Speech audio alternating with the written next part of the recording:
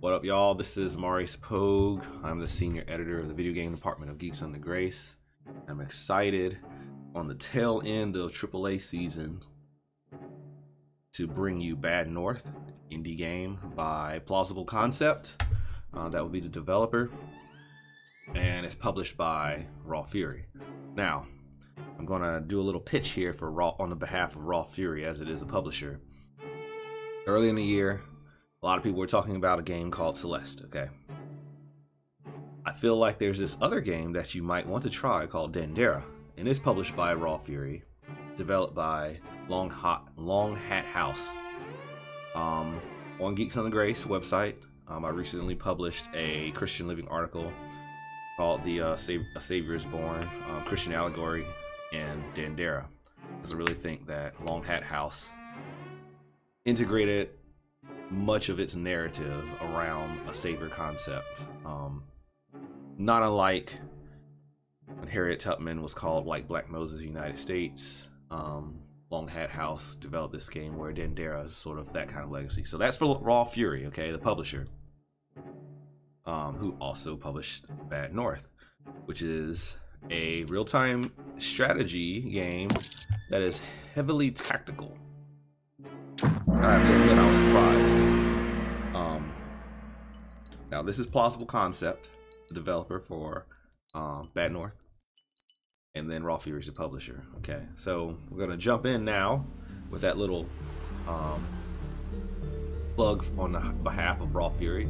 I appreciate them giving me the opportunity to review this game. I'm doing this quick scope right now so that people who are curious about this game will get a feel for it. So when you start the game, you're you're here and you eventually conquer um, along the way. Um, I guess this little fog here is behind me. I'm not sure if it can catch up to you. I haven't found out yet.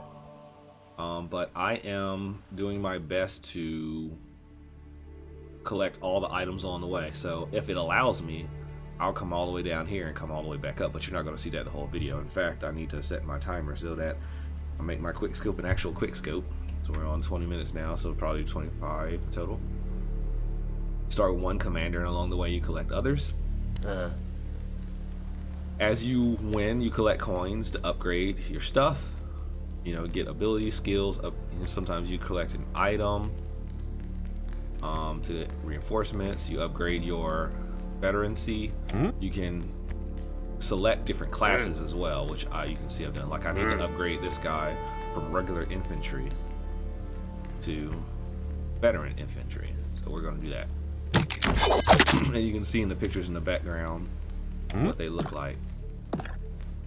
All right. Um, I don't know what this is. Maximum squad size to 12.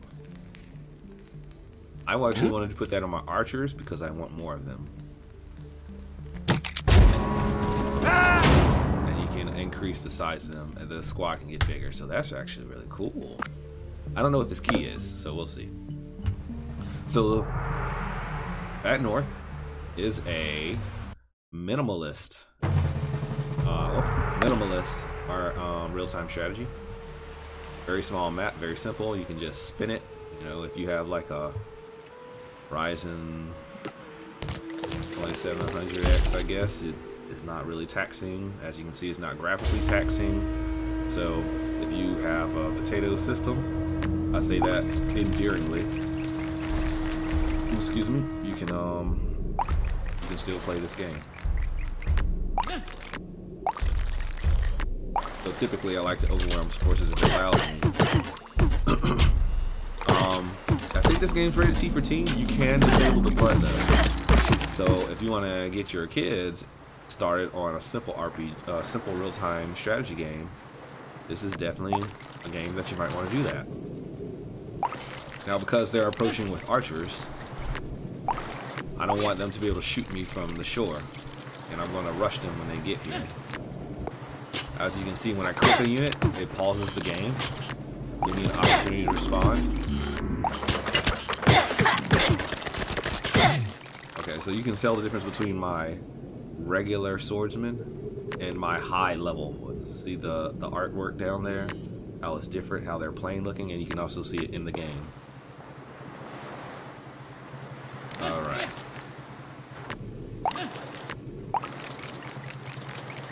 So this map is kind of weird to where my archers can't quite get to where they need to be. But now they're bigger too because I just gave them that upgrade. So they could actually handle them by themselves if they if I let them. But I'm gonna chase them down with some of my uh, swordsmen. Yeah, they should be able to handle that by themselves. Now these guys, the shields, looks like it's a mixed party. Thing with spearmen is that they need to be in position already because they can't move while fighting. The swordsman can move while fighting, but the shieldman cannot. Um, archers, of course, are long range, but they're not really good at fighting hand to hand. The spearmen are probably the best defensive unit overall. Well, they're not probably, they're certainly the best defensive unit overall.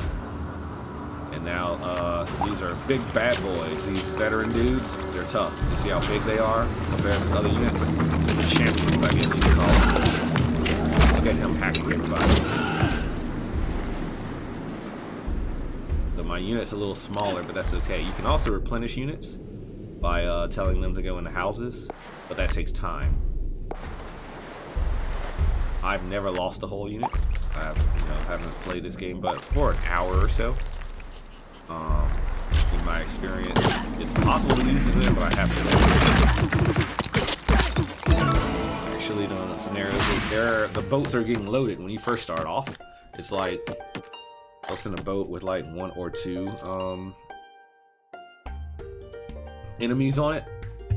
Here are the here are the coins I was talking about. They'll send a boat with one or two enemies on it, and um, I'll get to upgrade this guy eventually. Yeah, there we go. So that's a little neat. It tells you how many coins you need to, and says, hey, you have upgrades available. Excellent. I don't, know why I would bow. Oh, they haven't, I haven't classed them yet. They don't have a class, so that's excellent. I can show you what that looks like. So I'm gonna get my archers upgraded too. Yeah, that's it. So I, I have a new commander. So that's what I gained. Ah. So that's what happened. Ah this person was with was there and mm. he got benched okay so in this game hmm this is the first time this I haven't had this many commanders before so it's possible to um have enough commanders because I don't I, look okay so let me back up. So, one out of five commanders available. Usually I don't have one that's benched. I use all four of them. And I have to do next turn. And then the map advances. Like this. So I'm to try to zigzag on down here. And then come back up. Um, yeah, I wonder if it would even allow that. Like if I go backwards this way. Probably not. But anyway, um, so he hasn't been classed. He's the extra commander that I've gained in the last battle. I don't. I guess the key is his sign. Yeah, there it is. Call sign, call flag. So we can class him up. Now, I am a fan of the Spearmen. They're really strong. Defensive melee unit carrying long pikes, great at holding one position but cannot fight while moving. So like, definitely want them to guard your shore. And I get, if I had one more commander perhaps, I could probably raid a map with like one archer, two spearmen, and well, a spearman and a swordman. That's really, I feel like all I need.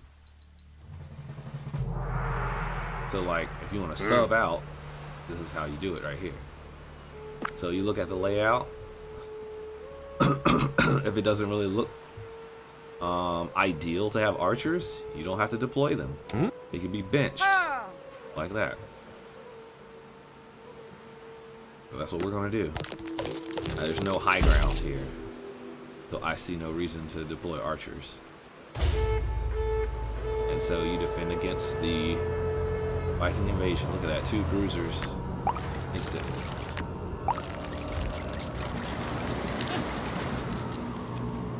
Yeah, you can even tell the difference between these two. Look at the helmets. Like, they have shields, but this is the more advanced party, I believe. Yeah, they're blue shields. Oh, they look... I don't know, those helmets. Yeah, so you'll see if they're over, they'll, they'll come over. I'm trying to see. What's the difference? Maybe the helmets are just different as artwork, but they're the same level. That'd be, um, that's actually kind of cool. So, the archer's coming. I want to move my vulnerable spearmen out the way. And arrive, get there right when they come on shore. So here's the tactical part. Right? Wow, they are really shooting over there. They're archers, right? The tactical part is when you click and the game pauses. I think I mentioned this. Oh yeah, you can keep moving. So this thing about swordsmen, they can actually move and reposition. Spearmen cannot.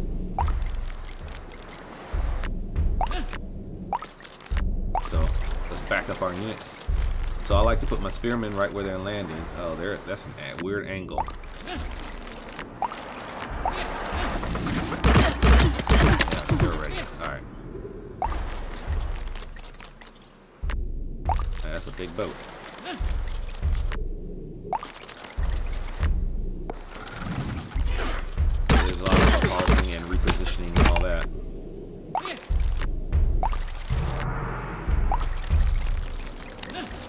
Incoming or is it already Well, that was very violent. So, you can notice that your spearman clan, your spearman group is smaller, is taking damages. So I don't want my smaller group to fight against this oncoming. Plus, they don't have helmets. They're a lower class. These have been veterans. So they're going to take on the big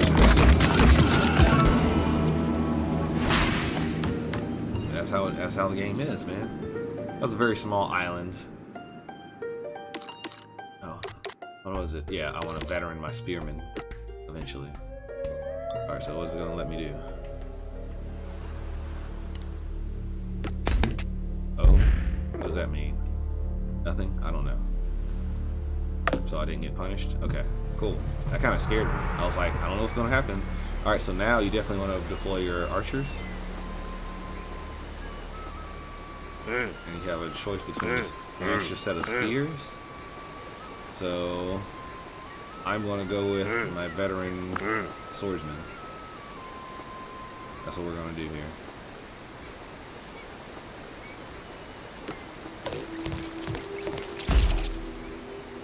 Only because of this high elevation. Now they could be invading all around here and my like just like they're coming right here. They're coming my archers can't get there. But plus they have shields, so it doesn't really matter that much. So I like to position. So the thing is, the Vikings are trying to get to your houses and, and shoot them. So because this is a minimalist, minimalist real-time strategy game, I am. I call myself specializing in strategy games.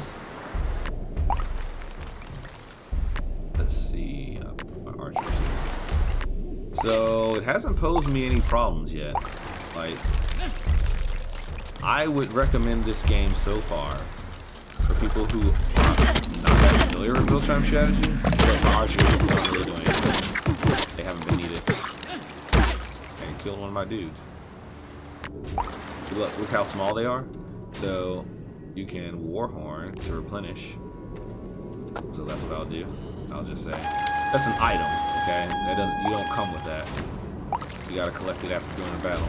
But they're still small. That that, that scares me because if you lose your group, um, you lose like you lose forever commander. So we're gonna defend with this sword Oh, he got knocked down. That was pretty neat. That little animation. Yeah, when you if you replay this video, you watch this dude right here. He gets knocked down. So I wonder if that makes him more vulnerable. Finally, get to use my uh, archers. So you got to be careful with your placement here. If you get it wrong, yeah, there's no reason for y'all to be up there. That guy looks like an assassin or something. He's got like a, oh, he's got a shield. It's just a wrong angle. I'm like, man, dude, this tight.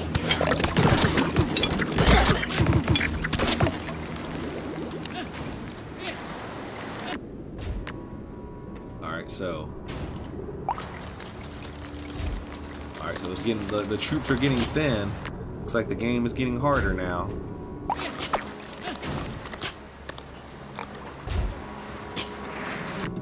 So, it's gonna be up to y'all to hold the line.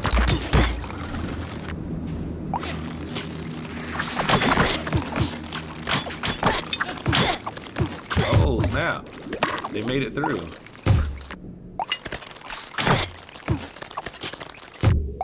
You gotta chase them with your swordmen because your remember your spears have to already be in position.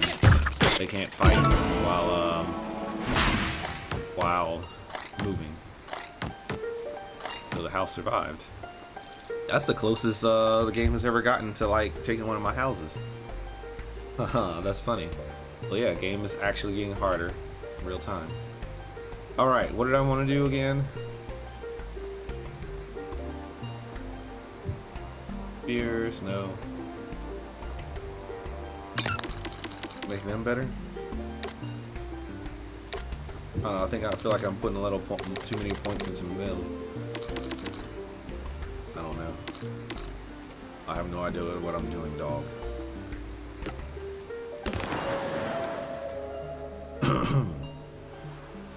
so yeah, you just you just keep going. Eventually, I'll have another uh, what do you call it? Um, veteran here. I wonder what happens if the map. Well, oh wow, flatland. Hmm? Oh yeah, this this is good to have another spearman, which I will definitely upgrade him to the veterancy. So yeah, you can't spend the money that you earn from houses. And this is one little house. So this is, I guess this would be a really hard map. or considered a hard map. And if you literally have one house to protect, you're not going to get much from it either. But Remember there's a question mark here, so I wonder what that's about.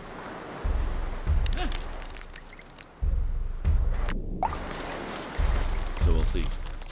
Very minimalist game, as you can see. I keep saying that. But, yeah. Not graphically intensive. Run this on a potato computer, I imagine. So I am kind of like when I played this, I was like, uh, are they really gonna land on that little divot there? Hmm. Let's see how they handle that. I wonder if there's fatigue and stuff like that, like um, elements that you can detect in the game that um, actually exist. What are they landing on?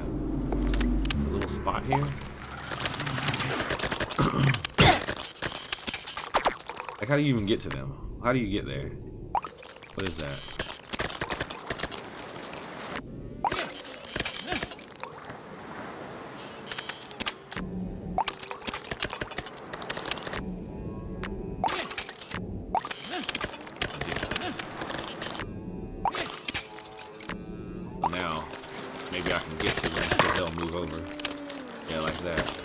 That's ridiculous. Come on, develop. Plausible concept, what is this? Was I supposed to bring my archers and I have a shootout?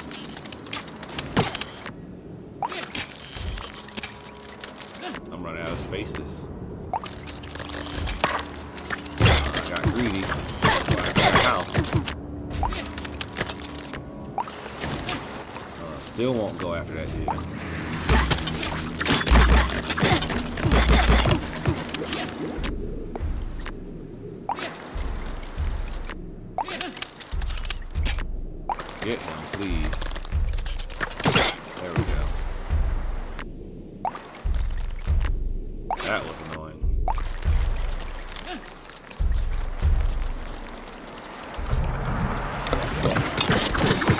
Really in, huh? Gotta get that dude. Oh, they just ran past me?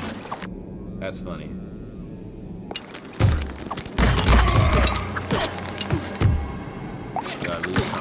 lose someone? I think I did.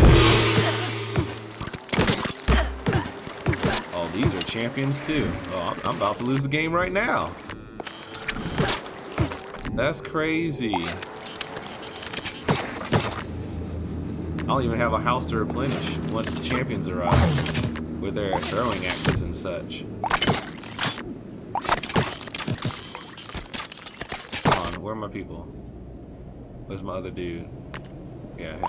Oh, there. This is it.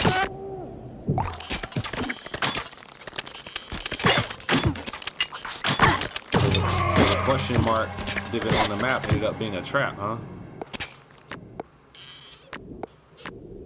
Now I can't I can't even get to those guys because the, the layout of the island. See if I walk through them, what happens.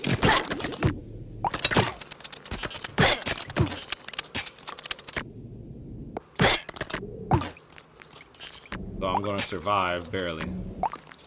But I'm not gonna get any gems. I've lost three commanders plus their artifacts, their items. Call that. That's a Pyrrhic victory. Oh, I get an item. Wow. And I don't have any points either. Well. Okay, so in that instance, I'm like, does the game get hard because this map is following me? So there's still stuff I need to learn, but the other part of that is the difficulty spike was instant. I didn't lose like one commander, and it's like, okay, I need to tighten up my defense. I lost three at one time. That's... Yeah, so I guess this thing said it's a roguelike. Um, this thing, Bad North, is also described as having roguelike elements, and I get that. It's actually roguelite, but I'll, I'm not going to worry about the, uh, the nomenclature. Um,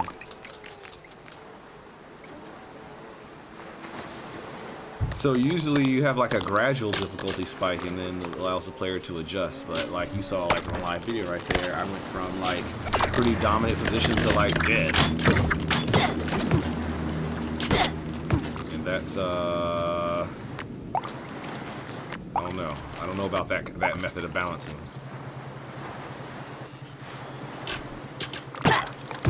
So that didn't come to light until really I just started playing this.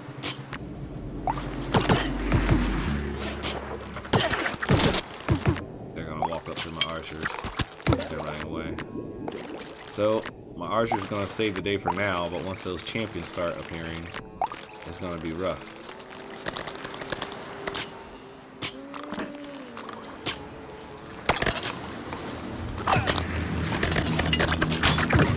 I wish there was a way I could, instead of zooming center mass of the map, I wish there was a way you could zoom in like a specific area.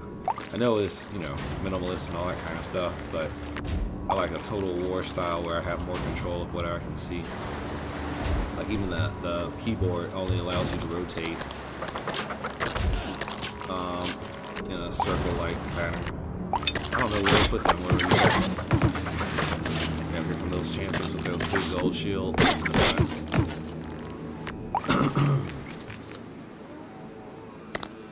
I wonder if that dude dark in the back indicates, yeah, he, he's bloody, so he's hurt. Haven't seen that before. Oh, wow.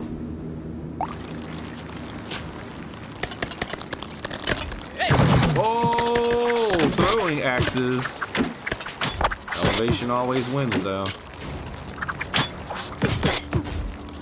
Yeah, my guy died. Meantime, it allowed more people to arrive on shore.